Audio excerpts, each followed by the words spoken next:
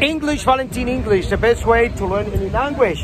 So we're gonna learn how to ask, where are you going on your vacation? Where are you going on your vacation? Where are you going on your vacation? Where are you going on vacation? I'm going to France. I'm going to France. Where are you going? Where are you going? Where are you going on your vacation?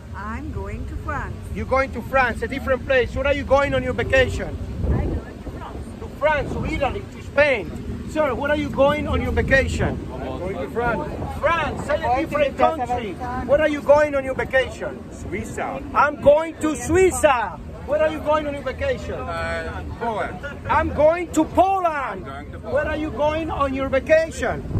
To Munich. I'm going to Monaco. Where are you going on your vacation? Switzerland. Switzerland. Where are you going on your vacation? Bulgaria. Hungarian, beautiful country. Woo! Where are you going on your vacation? France. I'm going to France. Where are you going on your vacation?